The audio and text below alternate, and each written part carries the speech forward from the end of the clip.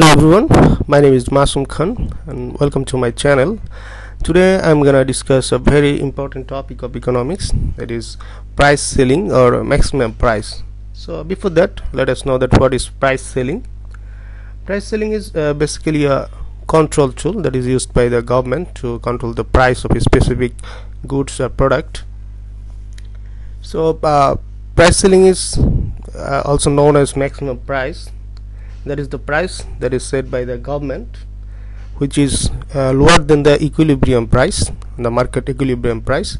And uh, any price that is that if the supplier charge any price higher than this ceiling price then it will be illegal.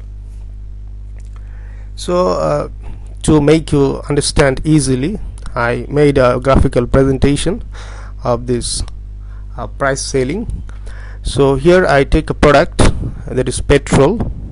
So here you can see in the y-axis I put the price of petrol and in the x-axis I put the quantity of petrol. So here in the uh, graph you can see this is the demand curve and this is your supply curve. And uh, this is the equilibrium point. Here the price of petrol is taka 80 and the quantity is 5000 liter. So this is basically in the uh, red dotted line. This is our initial equilibrium price and quantity. And this triangle here here this triangle is our initial consumer surplus. And this triangle here this is our initial producer surplus.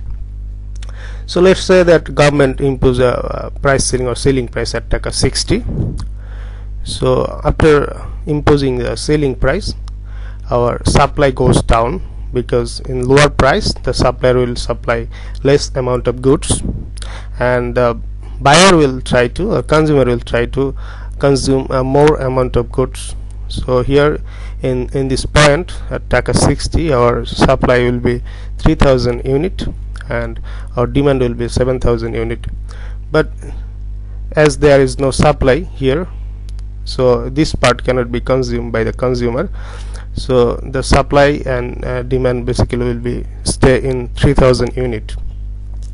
So after the imposing of price ceiling uh, what changed happen?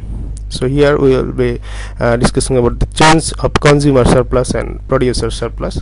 So I put it here right here like uh, change of consumer surplus. Here I write it down at a minus b. As you can see that after the imposing of price ceiling the price goes down.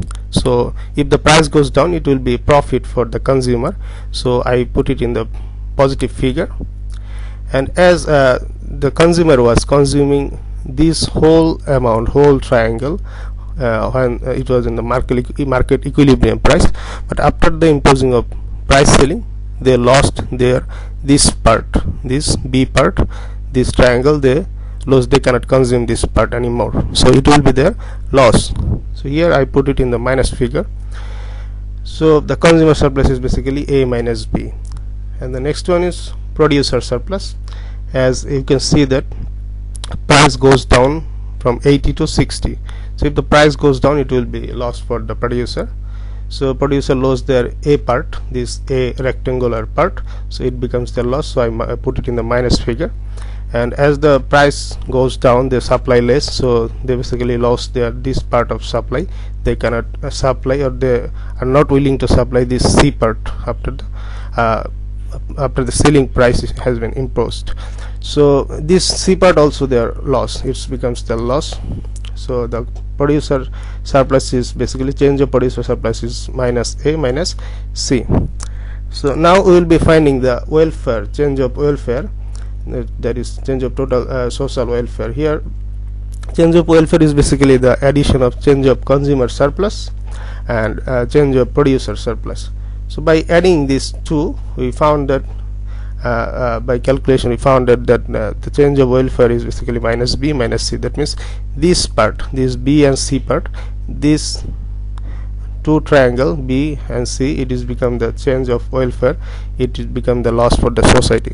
So this part this loss basically known as dead weight loss or DWL so this is all from uh, price ceiling or maximum price.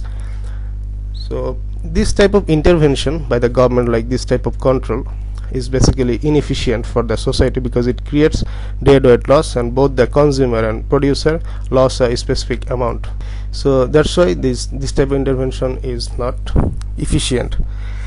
So uh, this uh, this is all from price ceiling. Hopefully I'll be making a video on price floor or minimum price and hopefully it will be helpful for you guys. And if you are uh, new in my channel don't forget to subscribe my channel and share my video. And like and comment in the videos. Uh, thanks for watching. See you in the next video. Goodbye